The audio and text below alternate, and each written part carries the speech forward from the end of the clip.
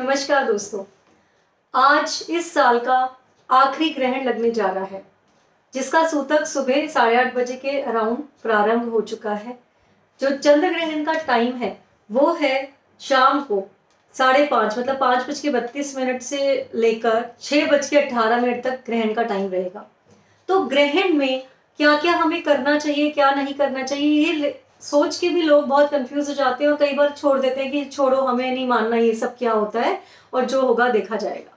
तो साइंस के अकॉर्डिंग अगर हम जाए तो एक ये खगोलीय घटना है और कुछ भी नहीं है, उसमें उसमें कुछ भी ऐसा माना नहीं जाता।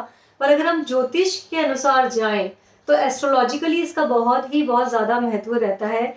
ज्योतिष साइंस के, विज्ञान के अनुसार अगर हम चंद्र ग्रहण को देखें, क्योंकि चंद्रमा और सूर्य, ये जो है, ये दो जो एनर्जी के स्रोत हैं, जो कि हमें पॉजिटिव एनर्जी देते हैं, इनसे जो हमें, जो रेज मिलती हैं, उससे चंद्रमा की हो चाहे सूर्य की हो, पूरी धरती पे एक जीवन का आरंभ होता है।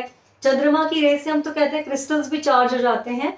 तो जो ये रेज हैं, ग्रहण की वजह से ये जो रेज हैं, इसमें से नेगेटिव एनर्जी बहुत ज़्यादा मिलती है, वो जो पॉजिटिविटी है चंद्रमा की, क्योंकि आज पूर्णिमा का चंद्रमा है वो हमें कहीं ना कहीं नेगेटिव एनर्जी में तब्दील होती हुई नज़र आती है।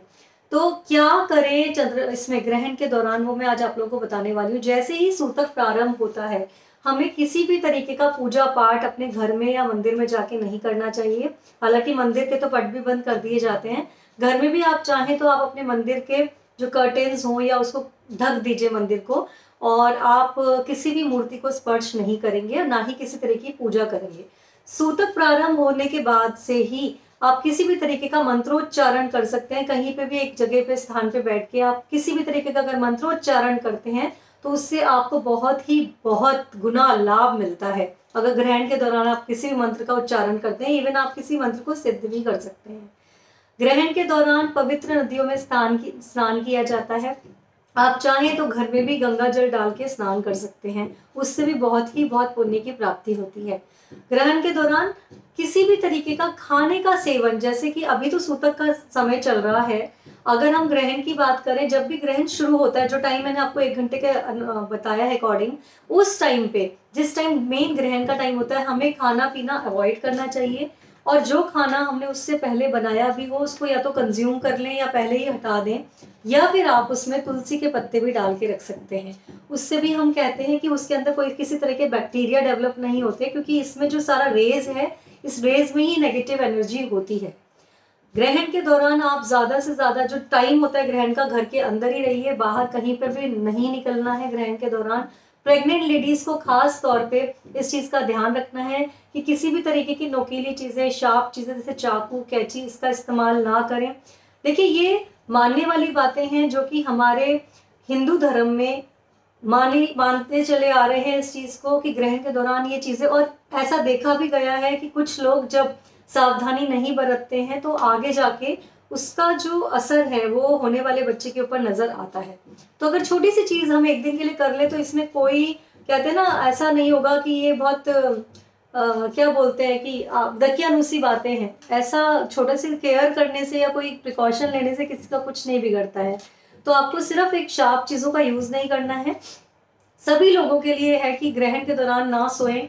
और आप जागे रहें उस टाइम पे। मंत्रोच्चारण करें तो है। इवन प्रेग्नेंट लेडीज़ भी उस टाइम पे अगर बैठ के मंत्रोच्चारण, जैसे गायत्री मंत्र का उच्चारण करें, ओम नमः शिवाय का जाप कर सकते हैं, या जो भी आप मंत्र करते चले आ रहे हैं, चाहे वो हनुमान जी का है, चाहे वो काली माता का है, चाहे वो शिव जी का है, चाहे वो गणेश जी का है, आप उस मंत्र का जाप कर सकते हैं और उसको सिद्ध भी कर सकते हैं। ग्रहण के दौरान, जैसे मैंने बताया, स्नान, जप आदि का महत्व होता है, पर पूजा पाठ उस टाइम पे नहीं किया जाता। खाना नहीं खाया जाता है उस टाइम पे। जो भी खाना आपके घर में बच गया है, जो कि एक हम कहते हैं ना लिक्विड पोजिशन जैसे दूध है, दही है, किसी तरह का आटा, सब्ज़ी, ये सब है तो आप उसमें तुलसी दल डाल दीजिए। तुलसी का जो पत्ता है, वो आपको सूतक लगने से पहले पहले ही तोड़ लेना है, उसके बाद नहीं ग्रहण के दौरान किसी भी पेड़ पौधे को हाथ नहीं लगाया जाता है।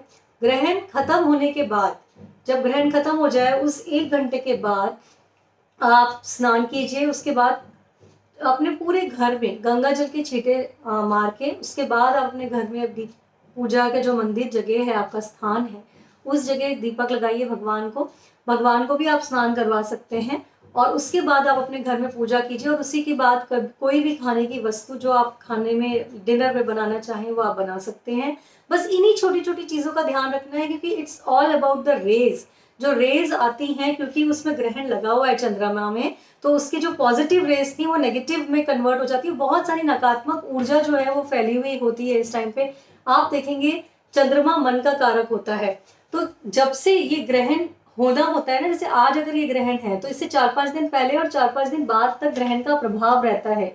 तो जो भी लोग चंद्रमा से रिलेटेड होते हैं ना, जिनको मून गवर्न करता है, जैसे जो कर्क राशि वाले लोग होते हैं, या जिनके अगर आप चार्ट में देखें अपने एस्ट्रोलॉजिकल जिनके असेंडेंट चंद्रमा होता है, या फिर जिन लोगों का न्यूमरोलॉजिकली जैसे न्यूमरोलॉजिकली अगर हम देखते हैं कि टू नंबर इलेवन नंबर इस तरीके के नंबर जिनके होते हैं ट्वेंटी नंबर जिनका होता है, ऐसे नंबर जिनको चंद्रमा गवर्न करता है मून गवर्न पीपल उन लोगों के मन में भी बहुत ज़्यादा विचलित सा वो रहता है। चार पाँच दिन पहले से काफ़ी लोगों को, क्योंकि चंद्रमा आप देखेंगे कि पानी का कारक माना जाता है, जल का कारक माना जाता है।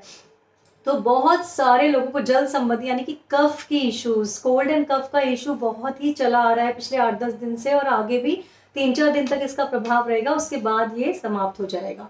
एक नॉर्मल जो बीमारी होती है, मैं उसके लिए नहीं कह रही हूँ, पर जो लोग चंद्रमा से गवन है, उनको खास तौर पे ये इशू आप देखने को आपको मिल जाएगा। तो इतना गहरा प्रभाव होता है ग्रहण का और छोटी छोटी बातों का हमें इसको दकियानुसी नहीं मानना है और ना ही इसको बड़ा चढ़ा के इससे डर जाना है। हमें सिर्फ़ एक प्रिकॉशन लेना है और छोटी छोटी बातों का ध्यान रखना है और जैसे ही चंद्र ग्रहण खत्म होगा, वैसे ही आप स्नान करके और गंगा जल का छिड़काव पूरे घर में करके भगवान की पूजा, आराधना कीजिए और उसके बाद आप डिनर ले सकते हैं। नमस्कार।